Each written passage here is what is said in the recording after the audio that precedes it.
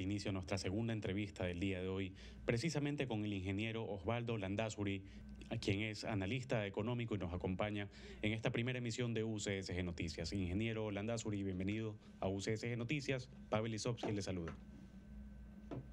Buenos días, gracias por la invitación. Ingeniero, vemos algo bastante interesante, un fenómeno con respecto al riesgo país vemos que al primero de agosto del año 2022 alcanzó los 1.454 puntos. Esto es un incremento de 118 puntos respecto del 31 de julio. ¿Qué factores considera usted que motivarían esta variación tan abrupta de este indicador que es el riesgo país?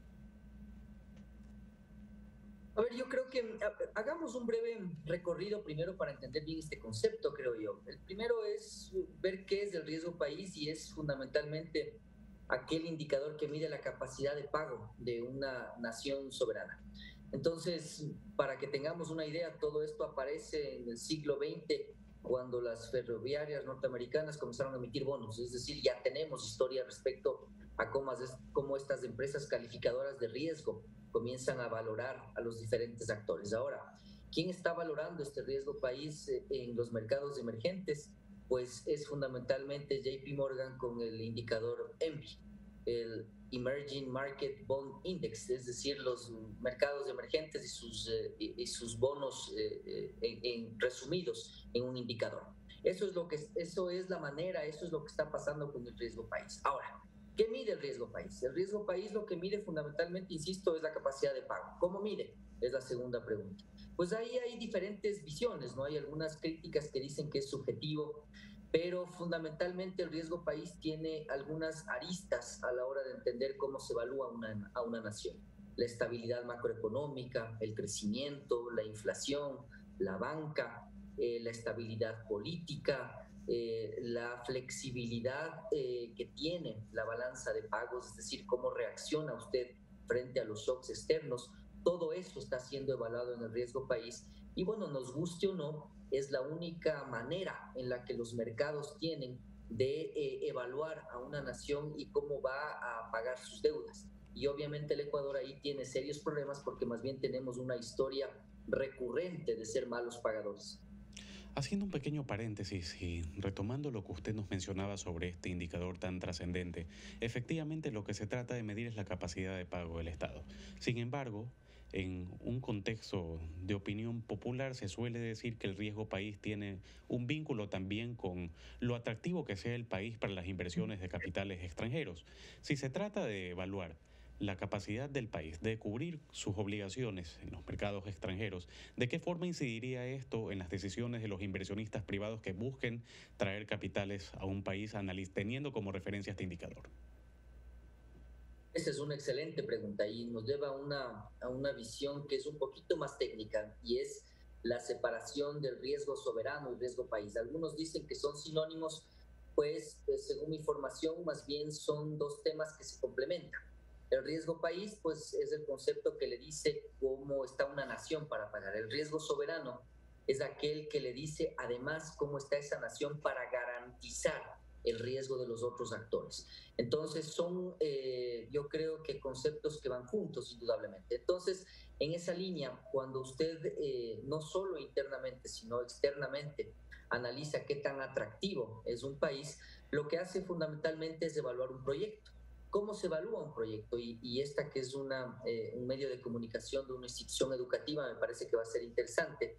Lo que sucede es que cuando usted eh, estudia en el extranjero, por ejemplo, nos enseñan que eh, lo principal que debe tomar en cuenta usted a la hora de evaluar incluso el riesgo soberano, es decir, el riesgo adentro de un país, es el riesgo, el riesgo país, valga la redundancia. Entonces, todos los proyectos se califican con una tasa usted necesita entender cómo se calcula esa tasa. ¿Cuál es la manera más, eh, más didáctica de explicar aquello?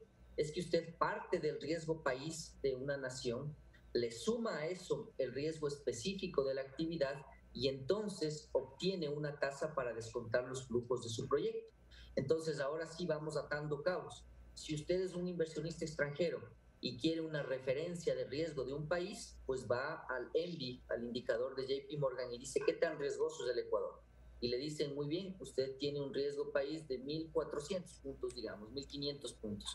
Los puntos base son equivalentes a 1%. Significa entonces que eh, usted tiene que descontar ya empezando con una tasa del 15%. Si le suma el riesgo específico de una actividad, ya sea esta actividad comercial, industrial, eh, de manufactura, etcétera, pues usted termina con tasas de alrededor del 20%, 22%. Entonces, cuando usted le compara con Colombia, le compara con Perú, pues probablemente se va a encontrar que indudablemente esa tasa del Ecuador se vuelve prohibitiva, es decir, ningún proyecto pasa una evaluación tan alta. Y es ahí donde entonces se relaciona la inversión extranjera con el riesgo país, es decir, con tasas tan altas, los inversionistas prefieren irse a otros, a otros países con tasas más bajas, porque no nos olvidemos de un tema, nosotros no somos los únicos con minería ni tampoco con intenciones de inversiones petroleras. Colombia, por ejemplo, tiene un plan muy ambicioso para incrementar su inversión petrolera. Cuando usted ve el riesgo país de esta nación, ellos tendrán riesgos de alrededor de 300 puntos. Cuando se compara con sus 15 eh, con su 15%, 1500 puntos, pues probablemente ahí empiezan entonces las dudas y es por eso que el Ecuador eh, endémicamente o sostenidamente no tiene inversión extranjera, entre otras cosas porque mantiene riesgos altos. Ahora, específicamente con respecto a los factores que entran en el análisis del riesgo país, usted nos mencionaba que también entran en, esta valoración factores de carácter social y político. Con respecto a eventos que han ocurrido de trascendencia nacional aquí en el Ecuador, como por ejemplo la situación del paro nacional, quizás no vimos un incremento tan desproporcionado del riesgo país como lo vimos pues al final del mes de julio, inicios del mes de, de agosto. ¿Qué cree usted que puede haber incidido en la capacidad de pago del Ecuador de sus deudas en los mercados extranjeros? Yo creo que son varias cosas. Mi lectura es que usted tiene el paro que desnuda una fragilidad política que probablemente el mercado se haya demorado en eh, entender un par de semanas. Es decir, cuando usted eh, ve el paro ecuatoriano y lo compara, por ejemplo, con el paro eh, ecuatoriano otra vez del año 2019, en octubre, probablemente es distinto en el sentido de que usted tenía ya un gobierno conocidamente debilitado.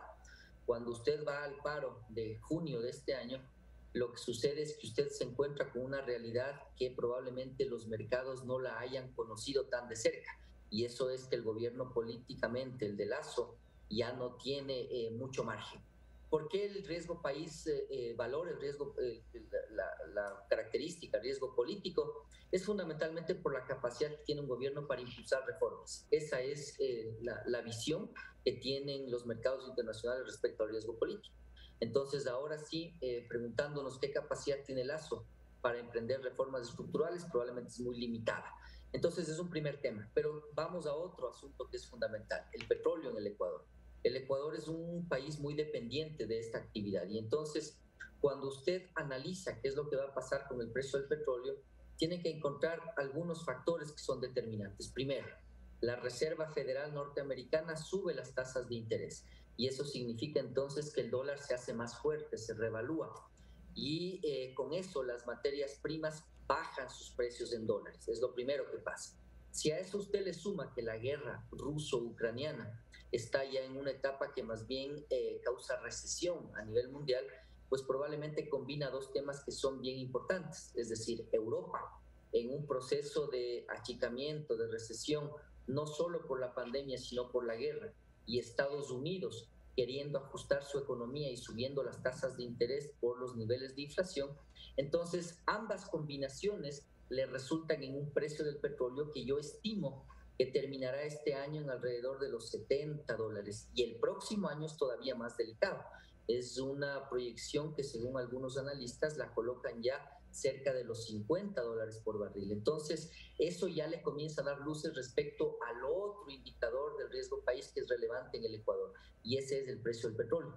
Entonces, probablemente los mercados estén viendo que el petróleo va a seguir moderando, si cabe la palabra, su precio en dólares, y eso hace que la capacidad de pago ecuatoriana se vea más restringida.